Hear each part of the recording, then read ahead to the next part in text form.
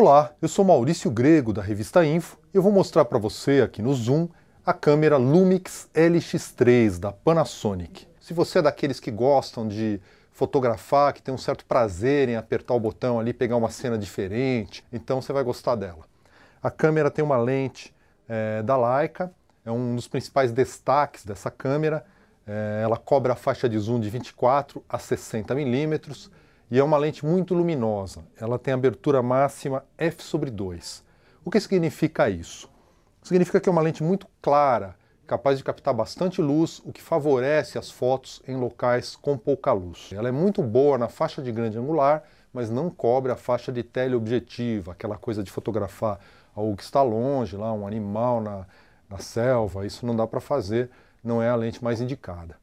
Bom, a câmera tem uma série de controles muito bem posicionados, tem uma ergonomia muito bem resolvida. Tem os modos de exposição clássicos, aqui na parte de cima um botão rotativo permite escolher, e tem botões, por exemplo, para mudar o formato. Pode ser 4 para 3, que é aquele formato tradicional do televisor mais antigo, 16 para 9 dos televisores mais atuais, e 3 para 2, que é o formato das câmeras reflex, aquelas câmeras mais profissionais.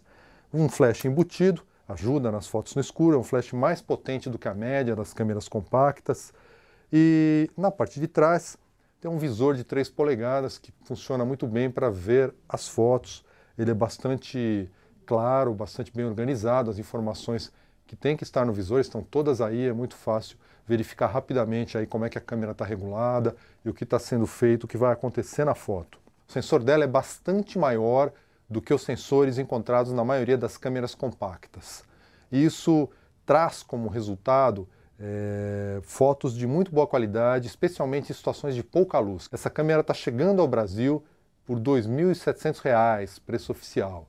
E é um valor muito alto para uma compacta, né? a gente sabe disso. É, mesmo fora do Brasil, ela custa 500 dólares, que é assim, o topo da faixa de preço das compactas. Mas também a câmera é o topo em qualidade. Das câmeras que já passaram pelo Infolab, essa é certamente uma das compactas que oferecem melhor qualidade de imagem.